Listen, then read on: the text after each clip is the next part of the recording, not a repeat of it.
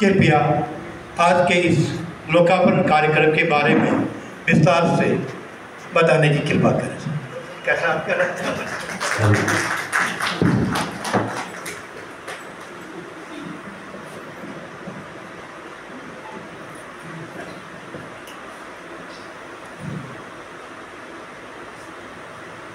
आप कर हमारे प्रिय जान पांडे जी, मटुलिया जी पांती जी, संचालक महोदय हमारे सभी भाइयों और बहन, और हमारे बहुत सारे मित्र यहाँ और भी हैं, आए हुए जो हार के अलावा और अन्य क्षेत्र के अलावा। सबसे पहले, जैसा कि स्वाभाविक है, मैं और हम, हमारे बहुत सारे दोस्त, इस मौके को सदा याद रखेंगे। कि आज के दिन हिमालय की किसी भी क्षेत्र में पहली ऑन डिजिटल डिक्शनरी या ऑनलाइन डिक्शनरी उसका लोकार्पण। हो इसलिए आप सब बधाई के पात्र हैं, जोहारी समाज पूरा बधाई का पात्र है, और पांते जी विशेष रूप से बधाई के पात्र हैं। कि इन्होंने इसको लीड किया, इसका नेतृत्व किया। और यहाँ के जितने और लोग हमारे इस समाज के हैं, उन लोगों ने इसमें बहुत गहराई से दिलचस्पी लेके इसको आगे बढ़ाया। मेरी ये भी उम्मीद आशा है कि जल्दी ही हमारे हाथों में एक प्रिंटेड डिक्शनरी भी होगी, क्योंकि उसका भी अर्थ होता है। और हमारे सेल्फ में, हमारे सिरहाने उस डिक्शनरी का होना बहुत ज़रूरी है। सिर्फ़ जोहारियों के नहीं, हर उस व्यक्ति के जिनकी भाषा में रुचि है जिनकी भाषा की विविधता में रुचि है और जो भाषा को संस्कृति का एक बड़ा हिस्सा, मनुष्य की पहचान का एक बड़ा हिस्सा मानते हैं। पहले मैं सोच रहा था कि उमा जी बोल चुकी होंगी तो मेरा नंबर नहीं आएगा बोलने का और मैं क्योंकि जरा से बीमार पड़ गया था जब नहीं हो रही थी, लेकिन आप सबको सुनने के बाद कुछ तो उत्साह आ ही गया। बहुत पुरानी बात है, लगभग उन्नीस सौ इकहत्तर की।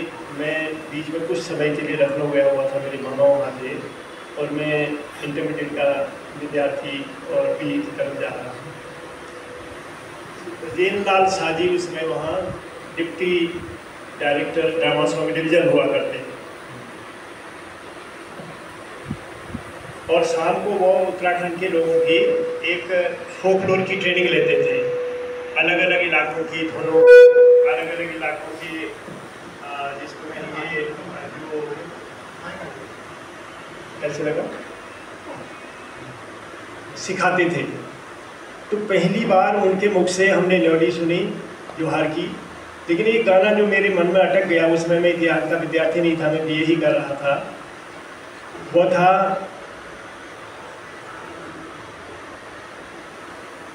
माणी कंपासी जी और उस पर कुछ, पहली बार मैंने कुछ शब्द सुने, जैसे चूक शब्द सुना, और वो मेरे अर्थ से बिल्कुल भिन्न निकला, वो तो उसी वक्त थर्ड निकला, जो हाइल्टीट्यूड में सिकनेस हमारी कम करता है। हमारे यहाँ नीचे की तरफ़ कुआँ में चूक बड़े नींबू को कहते हैं।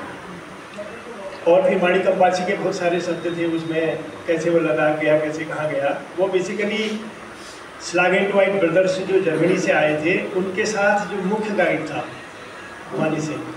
वो उसके नाम के साथ, क्योंकि पहली बार उसने कंपास का इस्तेमाल किया तो मानी कंपासी तो वो एक तरीके से पहला स्पर्श था बिहार की किसी चीज़ का, और हम लोग इंटरमीडिएट में थे, और आज के थी आजकल की तरह बहुत ज़्यादा सामग्री उपलब्ध नहीं होती थी किताबें कम होती थी ऑनलाइन आप नहीं देख सकते थे।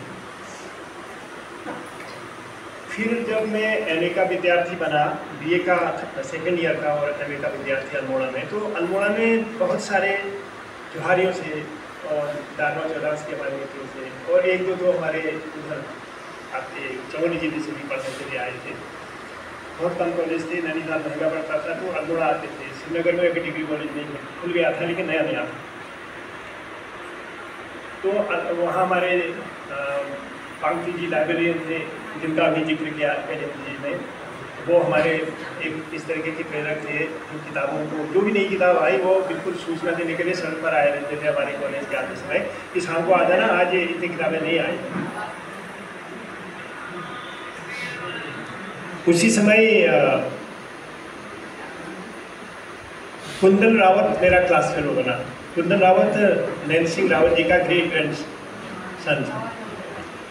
अब तो दुर्भाग्य से वो कुंदन की जो बच्ची, उनकी डेथ हो गई, परसों ही खबर मिली कि कुंदन की माँ की डेथ हो गई।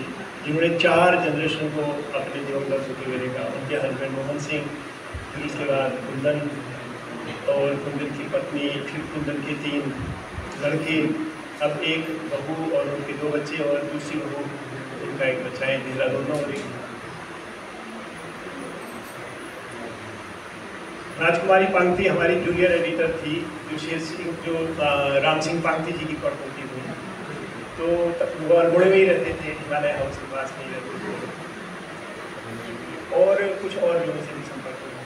फिर हम एम के विद्यार्थी बने तो एमए के विद्यार्थी के दौर में हम लोगों को पहली बार अल्मोड़ा में हिमालयन वेजिटेरियर देखने का मौका मिला। और उसमें नैन सिंह और किशन सिंह की फ़ोटो देखी। तो कोई हमारे पास उसका असर जैसा नहीं हुआ, क्योंकि उसमें चार छः वाक्य थे।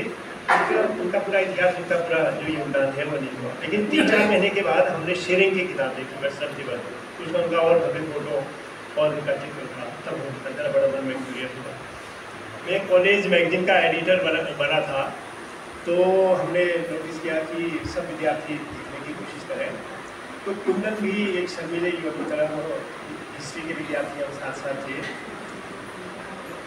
तो एक लेख लाया वो बिल्कुल एक बड़ा हुआ कागज़ में और उसके ऊपर लिखा था नैन सिंह सी आई टी मेरे मन में क्लिक किया कि नैन सिंह राव का था हमने ये नज़दीक कर लीजिए नैन सिंह नज़दीक नज़दीक में हाँ। नैन सिंह राउत का वही नाम तो नहीं है। तो कुंदन ने कहा हाँ वो मेरे ग्रेट ग्रेट फादर थे। बड़ा शर्माते हुए कहा उसने। मैंने कहा फिर मैं इसको पढ़ूँगा आज और मंचा सिंह और इस सभा में सहभागिता करने वाले सभी सम्मानित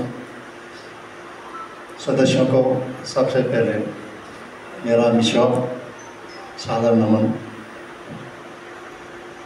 और और अभिनंदन। मैं सबसे पहले हृदय से आभारी हूँ आदरणीय श्री पाठक जी का। मैं इनको उन्नीस सौ बहत्तर से जानता हूँ। और बहुत इनका आदर करता हूँ, इनके काम का, इनके व्यक्तित्व का। इनको और मुख्य अतिथि श्री नरेंद्र सिंह जम्पांगी जी को, जो एक हमारे आदर्श व्यक्ति हैं समाज के लिए, और सभा के अध्यक्ष श्री मर्तोलिया जी को, जो हमारे संरक्षक हैं मिलन केंद्र के। आप सबों ने मेरे अनुरोध का मान रखा, उस मान रखने के लिए आपको बहुत बहुत धन्यवाद। आपका बहुत बहुत आभार। अब मैं अधिकांश बातें तो हरी जी ने बता दी हैं। दो चार बातें अपनी ओर से ऐड करना चाहूँगा। सबसे पहले तो मुझे जिन लोगों ने मदद की इस काम में, उनका आभार प्रकट करना चाहूँगा। उसके लिए शब्द चयन में और चयनित शब्दों के अर्थ की पुष्टि करने में मुझे स्वर्गीय डॉक्टर शेर सिंह पांडे की रचनाओं से बसंती टोलिया जी से, लक्ष्मण सिंह पांगती लजबू से, हरीश दमसंधु से और मेरी धर्मपति अनीता पांगती से जो सहयोग मिला, उसके लिए मैं उनका बहुत बहुत अतिथि से आभारी हूँ। और उसके साथ ही इसमें कई तकनीकी उलझने हैं। इसमें वेबसाइट में रजिस्ट्रेशन पहले तो उसका पता ही करना, वही मुश्किल था वो पड़ा। उसमें रजिस्ट्रेशन और उसके लिए वेबसाइट में शब्दकोश को अपलोड करने के लिए टेम्पलेट का निर्माण एक्सेल शीट में, इसके संचालन की विधि, ये सब बताने बताने के लिए मैं अपने बड़े पुत्र नवीन का और तीन महीने तक लगातार शब्दकोश में का एडिटिंग करने के लिए टेम्पलेट बनाने के लिए और लिविंग इंस्टीट्यूट के अधिकारियों से इंटरेक्शन करने के लिए मैं अपनी बहू नीता का और इसमें जो तकनीकी उलझने सुलझाने के लिए सॉफ्टवेयर के माध्यम से शब्दों को ग्रुपिंग करने का उनको सेग्रीगेट करने का और उनमें से इलिमिनेट करने का जो सहयोग मेरे पुत्र, छोटे पुत्र नवीन ने दिया। तो इन तीनों का मैं हार हृदय से आभारी हूँ। इनके बिना ये काम नहीं पाता।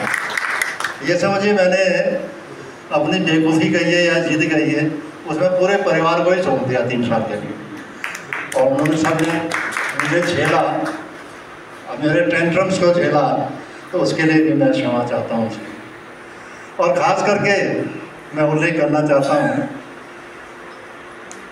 हमारे, हमारी भाषा के महान ज्ञाता बसंती टोलिया जी का। मैं इनको गुरु जी कहता हूँ। और मैं कभी कभी दिन में तीन तीन चार चार बार इनको फ़ोन करता था मैं कभी कभी ये ख्याल आमा या समझना शायद यो अपन मन में समझना नहीं यो दादा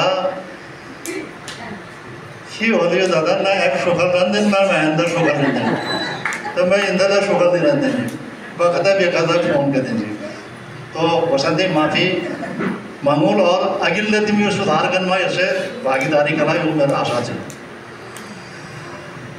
अच्छा ये भाषा के संरक्षण की क्या आवश्यकता है, क्यों आवश्यकता है? ये तो इन्होंने बता ही दिया। हर जी ने इसलिए मैं रिपीट नहीं करना चाहूँगा। और भाषा के संबंध में भी हमारे भाषा का विकास उसकी संरचना, उसकी प्रवृत्ति, उसकी प्रकृति, उसकी खूबियाँ, उसकी कमजोरियाँ, वो इतना लंबा विषय है कि यदि मैं बोलने लगूँ तो शायद आधा घंटा, एक घंटा मैं दे लूँगा आप तब तक पूरा जाओगे, मुझे पूछने लगोगे। इसलिए इस विषय पर हम एक गोष्ठी अलग से रखेंगे मेरा हरीश से अनुरोध है। इसमें विस्तृत रूप से चर्चा करेंगे समाज हित में। और आज तो मैं इतना ही कहना चाहूँगा कि अपनी भाषा पर गर्व करिए। शब्द संपदा के रूप में हमारी भाषा बहुत ही संस्कृत, सुसंस्कृत है, बहुत ही समृद्ध है। खुद ही लिविंग इंस्टीट्यूट के अधिकार ने कहा, हमने कभी कल्पना नहीं की थी किसी विलुप्त तो होती भाषा में पैंतीस हज़ार शब्द हो सकते हैं। इसलिए हमारी वेबसाइट में भी खामी रह गई है। जब आप वेबसाइट को नेविगेट करेंगे नेविगेट में जो साफान है ना शब्द तो नेविगेट आपको एक सौ सैंतीस पेज तक होगा, आगे नहीं होगा। लेकिन चिंता मत करिएगा। सर्च में जाएँगे तो पैंतीस हज़ार तीन सौ शब्द सब मिल जाएँगे आपको। लेकिन नेविगेट नहीं होगा। और नेविगेट करने में जब आप पेज निकालेंगे, एक पेज में तीस वर्ड केवल आते हैं, तीस इमेज जाएँगे ये भी ख्याल रखिएगा। तो ये मत करिएगा, आगे नहीं सरक नीचे पेज बदल दीजिए आ जाएगा तो